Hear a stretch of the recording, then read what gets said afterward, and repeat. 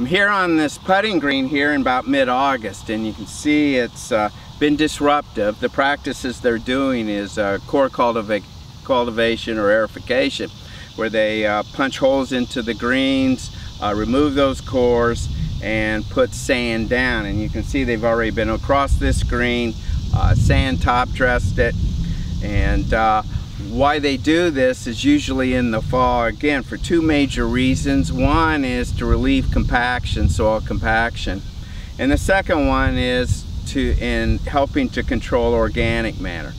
Core cultivation uh, the process actually helps with alleviating uh, compacted soils. You remove some of the uh, uh soil from the green and uh, then you can apply sand or whatever to help in that practice Organic matter control is uh, mainly to remove some of the organic matter and then dilute it or fill it in with sand.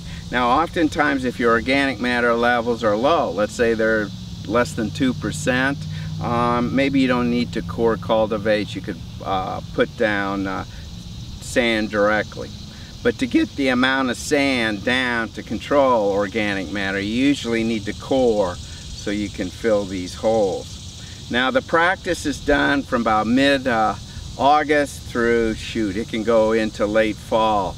Uh, the target date for Central Ohio is usually around September 1st or Labor Day. And the reason for that is it, it's done early enough. Temperatures are beginning to cool, these soil temperatures, so you don't have as much stress on the turf as you would in the midsummer time. And so it gives time for the uh, the uh, green or the turf to recover. Now the downside is this practice is pretty disruptive. In other words, uh, uh that uh, uh, golfers don't like it, okay? After you've done a practice like this, to get back to an equivalent uh, putting surface with regard to firmness and, and those kind of things as prior to coring can take two, three weeks. And so uh, one of the important things about this practice, it's usually on golf courses scheduled well in advance. Um, date is given. Usually the course may be closed for those days. And so that golfers and members or whatever knows when the practice is done and how long maybe the course will be disruptive after that. Uh, so they try to minimize the number of surprises. In this case, the practice or the process of coring is that uh, they'll come across uh, the green with a, a coring device uh, as that'll be shown here shortly. The tines can range in size from a half inch probably up to three quarters of an inch. Um, in this case these are three quarter inch tines which is a pretty uh, pretty large diameter tine. It's a pretty aggressive practice punches down, removes the uh, core. The uh, uh, cores are removed, usually can be dragged off or shoveled off or whatever, but they're usually allowed to dry on the green. And then top dressing of sand is applied fairly heavily across that uh, uh, green and then it's kind of brushed in or moved in so the holes are filled as, as we'll see here shortly. So that's the overall practice for it. A couple things to be concerned about when you're doing this practice is one, again, um, although it's always targeted around Labor Day, there's no guarantees we can't have an extremely hot summer. It can be hot during that, uh, that time of coring.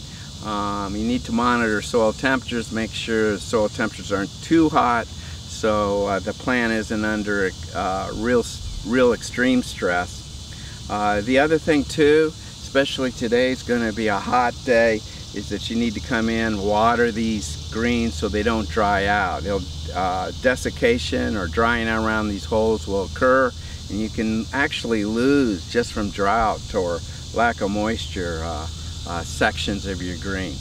And then the other one has to do with the pest. As we move further on uh, into September cutworms can be a problem. Cutworms like to feed on the uh, outer rings of the coring holes and what does that do?